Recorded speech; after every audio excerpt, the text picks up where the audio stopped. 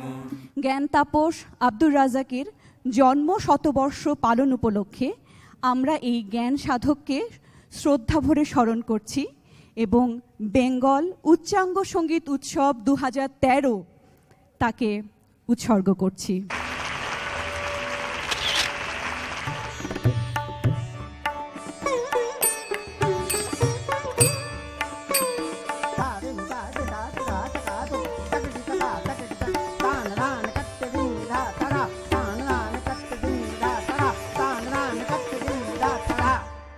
মানুষের মনন তৈরি করার উদ্দেশ্য নিয়েই বেঙ্গল ফাউন্ডেশন গত পঁচিশ বছর ধরে শিল্প সাহিত্যের বিভিন্ন শাখায় কাজ করছে। শিল্পকলার প্রায় প্রত্যেকটি ক্ষেত্রেই কিছু না কিছু কাজ করার নতুন সংযোগ করার চেষ্টা আমরা করেছি।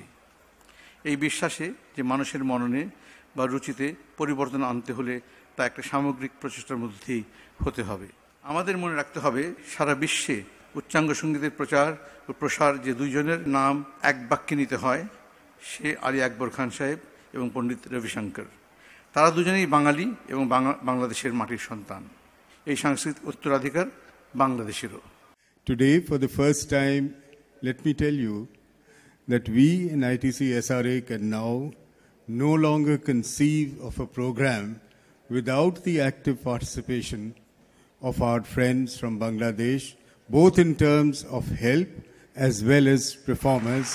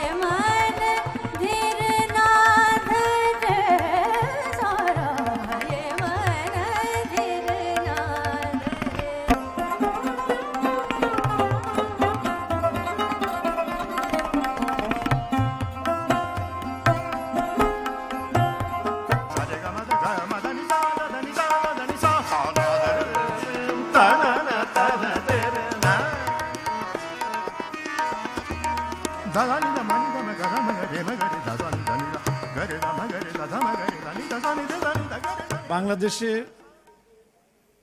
ক্লাসিক্যাল মিউজিকের যে এত পপুলারিটি আছে বেঙ্গল ফাউন্ডেশন সেটা প্রমাণ করে দিয়েছে। আজকের এই অনুষ্ঠান, এই উৎসব, এটি যদি প্রতি বছর চলতে থাকে, এই উপমহাদেশের শাস্ত্রীয় সংগীত জগতে এক নবজাগরণের সৃষ্টি করবে।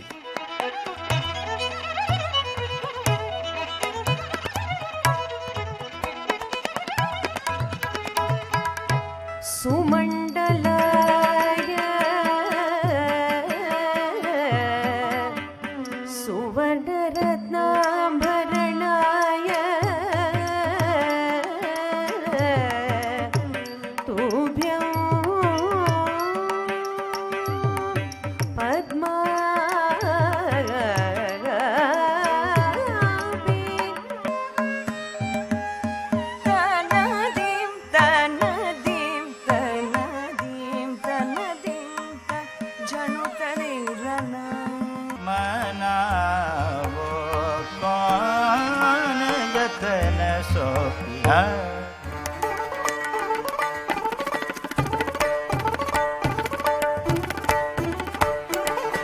আমার ধারণা যারাই এই অনুষ্ঠানে এসছেন, তারা শুধু এত সুন্দর, এত উন্নত ধরনের বিশ্বের শ্রেষ্ঠতম উচ্চাঙ্গ সঙ্গীতের শুধু তারা স্বাদই ভোগ করেননি ট্রিমেন্ডাস সেন্স অফ কনফিডেন্স নিয়ে তারা এখান থেকে গেছেন।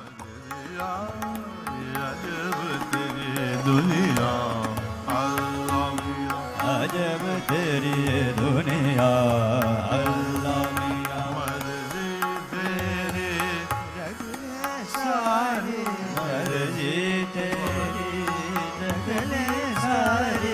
सब दुझ दुझ भरवार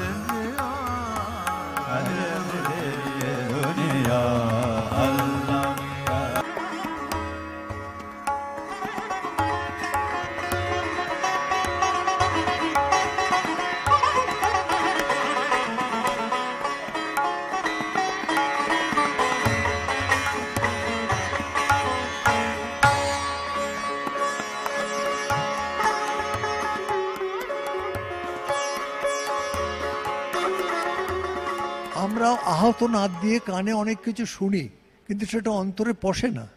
যদি অন্তরে বা মরমে না পশলো, সেটা সংগীত হবে কোথা থেকে? সংগীত হলে অন্তরে যেতে হবে। আমাদের সকলেরই একটা কর্তব্য আছে, সংকীর্ণ সীমানা থেকে বৃহত্তর পরিবেশে যাওয়া।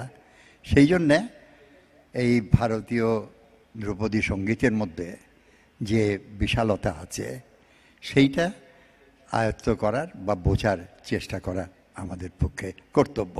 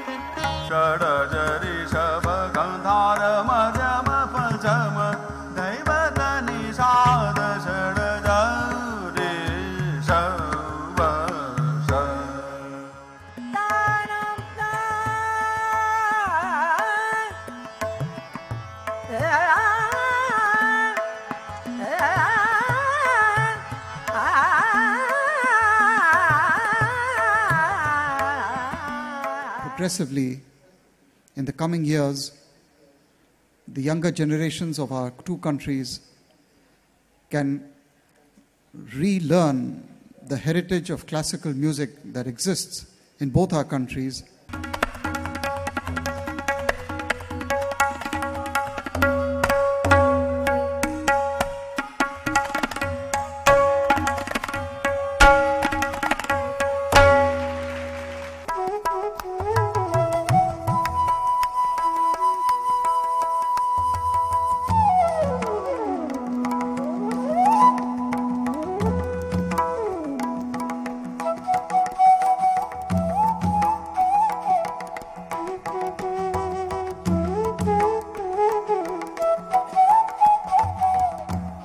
foundation যে উদ্যোগ গ্রহণ করেছে, তার মধ্য দিয়ে এদেশে উচ্চাঙ্গ সংগীত স্বমহিমায় উজ্জ্বল ও প্রাণবন্ত হয়ে উঠবে।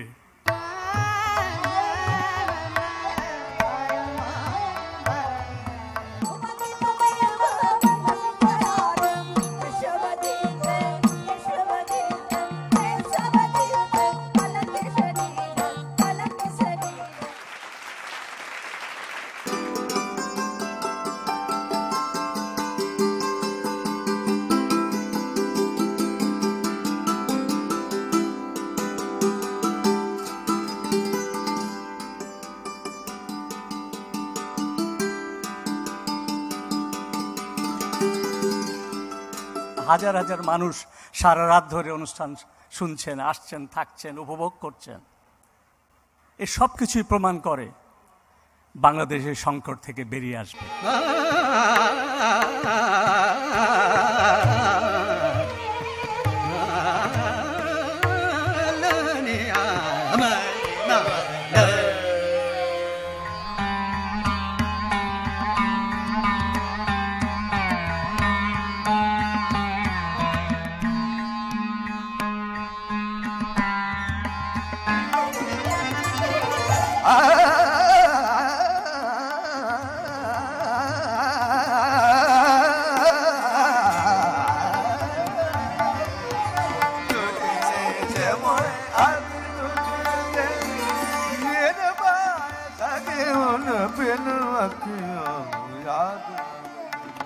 আমি একটু আগেই লিটুকু বললাম, সেই যে ইনিশিয়েটিভটা নিয়েছে, এখন আমরা তার সঙ্গে কাজ করতে রাজি আছি, আমি নিজের সময় দিতে রাজি আছি।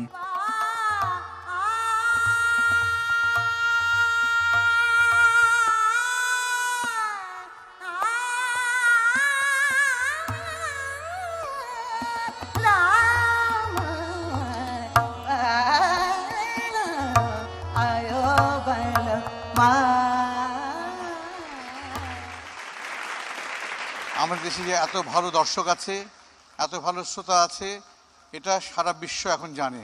এই গত চার দিন এক লক্ষ মানুষ এখানে গান শুনেছে, সেই জন্য আমরা সবাই কৃতজ্ঞ আপনাদের কাছে। আমরা আবার একই দিনে, একই সময়ে আমরা এই অনুষ্ঠান করতে চাই।